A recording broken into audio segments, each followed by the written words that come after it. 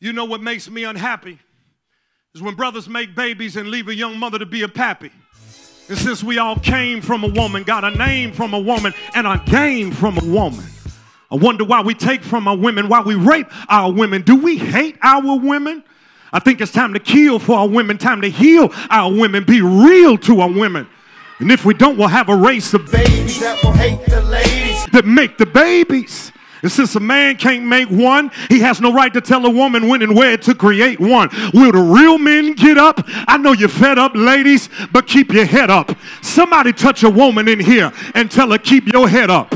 It don't matter what that dog did. It don't matter what that dog said. Keep your head up. Keep striving. Keep expecting greater to come. I need some people up in here to witness to somebody close to you. Tell them, keep your head up. I don't care what they've said, what they've done, how much they've done it to you. Keep your head up, girl.